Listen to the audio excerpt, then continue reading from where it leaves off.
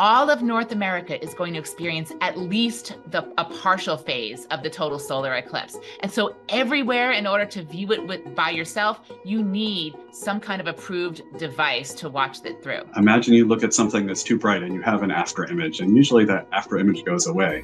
Well, imagine that after image stayed there for the rest of your life. That's what an eclipse burn would look like. There have been people who have had pictures taken of the retina, and you can see a crescent shaped burn in the retina from where the image of the sun got burned onto it.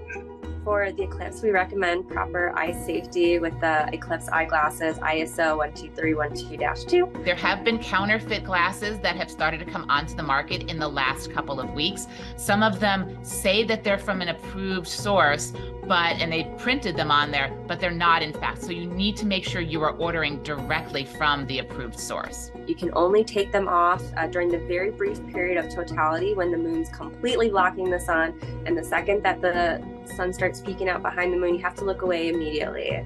If you don't have glasses and you're looking up at the sun and you try to do that, that can cause retinal damage, no question.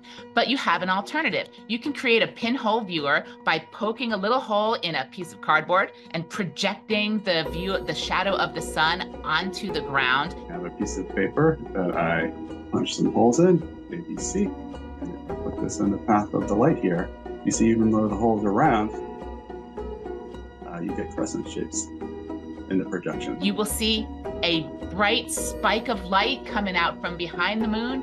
You know that that is your signal to go and put them back on, and then you'll get to watch the second partial phase of the eclipse. You definitely want to stay in place to do that. By the way, you'll you'll have half the the rest of the half of the eclipse to see, and it's just as spectacular as the way in. So definitely stay in place, save the traffic, save your eyesight, and have the most glorious experience you can while standing on Earth.